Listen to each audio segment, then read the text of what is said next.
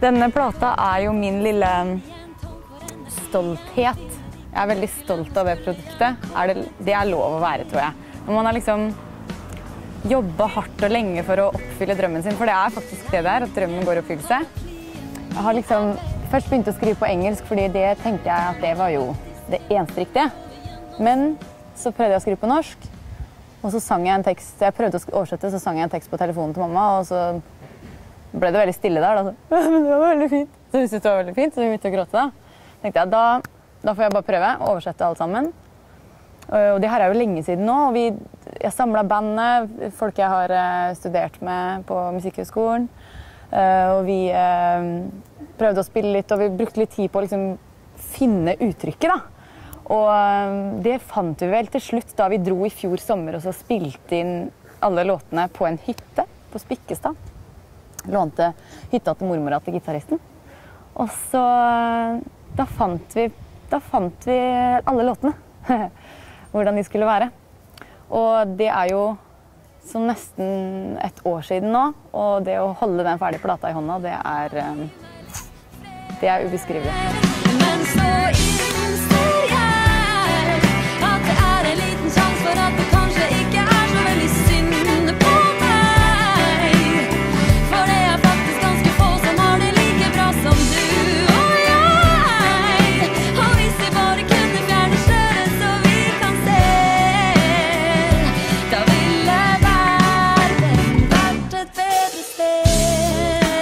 Jeg begynte å skrive for alvor etter jeg fikk barn. Um, ganske overraskende egentlig at jeg skulle bli så forferdelig inspirert av akkurat det, men det ble jeg. Uh, og det var jo i 2006. Um, jeg skrev noen låter, jeg tror jeg hadde fire låter. Jeg mente sjøl at det var jo kjempemange. Og um, jeg deltok på et uh, TV-program som heter Hitmakers. Hvor de spurte hvor mange låter jeg hadde skrevet. Fire. Og da smilte de alle sammen. Jeg skjønte ikke hvorfor de lo, for jeg trodde liksom egentlig det var mange. Men det blir ikke noe plate av fire låter. Så jeg skrev jeg fikk jo veldig, Det gikk jo egentlig ganske bra der, for var, jeg fikk stor interesse fra uh, Universal Music i Sverige. Uh, programmet floppa, så det ble ikke noe særlig mer av samarbeidet. Men det førte til at en annen juryen ville gjerne innlede et samarbeid med meg. Og det Vi skrev under kontrakt nå i vinter.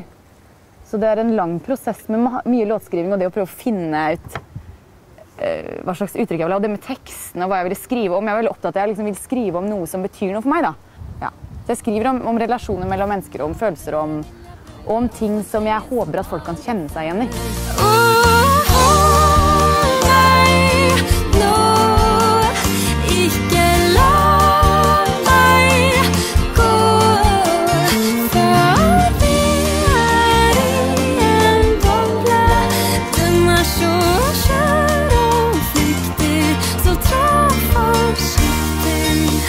men ikke vær redd. Man får gjerne inspirasjon eh, fra ting som gjør ekstra vondt, eller som er ekstra vanskelig.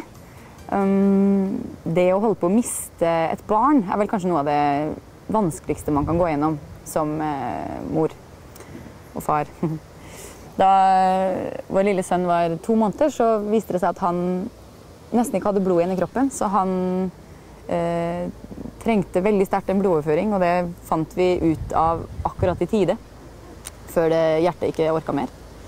Um, så etter, uh, etter den gang så har han fått blodoverføringer jevnlig, og, um, og, det byr jo på uh, det, det, kan være litt tøft, da. Så jeg har skrevet en låt om det, og den heter 'Hvit som sne'. Hvor jeg forteller om Johannes som blir hvit som sne en gang i måneden. Han skal få blod nå på torsdag. Men uh, det er jaggu fint å kunne bruke musikk til å, til å føle seg bedre. Bruke det som terapi. Om jeg kunne bytta plass med deg Og la ham være i fred, ta heller meg Men jeg står her maktesløs og lei Jeg har med meg fantastiske musikere i bandet. Jeg er veldig stolt av det. De er gode venner og ja, veldig gode musikere. Gitarist, bassist, eh, trommis. Torbjørn, Jan Olav og Terje. Og så spiller jeg piano sjøl og synger. Um, vi er veldig opptatt av at ting skal høres levende og ekte ut. For det syns vi sjøl at musikken er, og tekstene er.